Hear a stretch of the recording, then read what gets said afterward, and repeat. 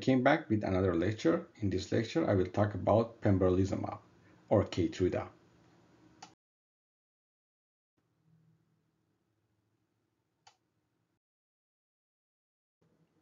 Pembrolizumab, under the brand name Keytruda, is an anti-cancer immunotherapy medication.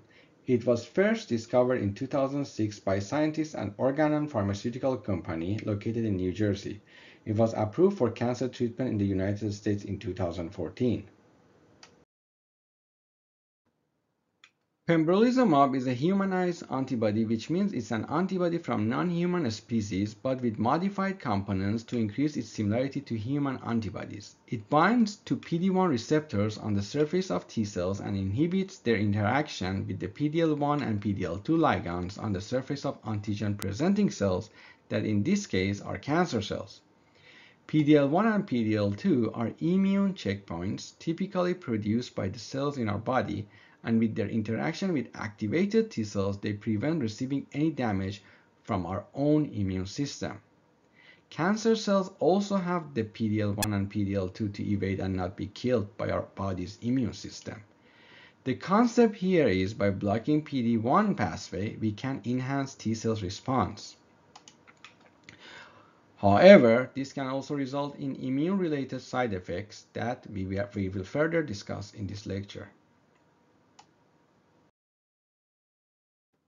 Cancer cells can become resistant to pembrolizumab via different mechanisms. One mechanism is activation of other immune checkpoint pathways.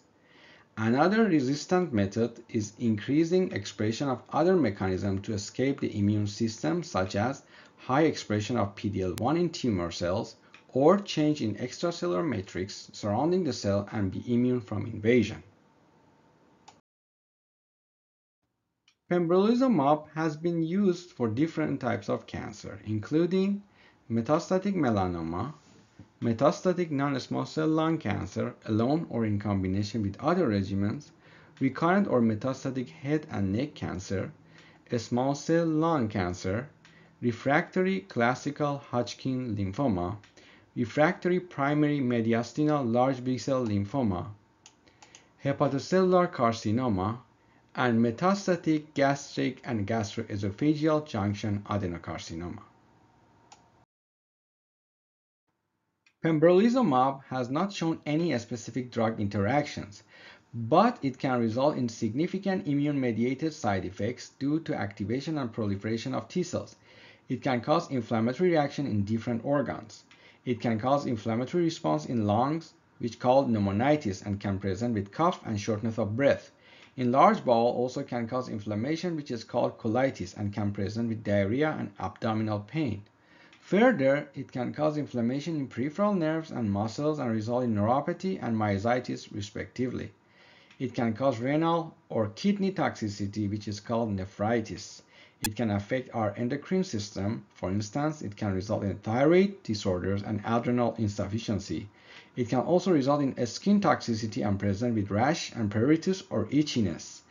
Pembrolizumab is pregnancy category D, meaning it may cause fetal harm when given to a pregnant woman.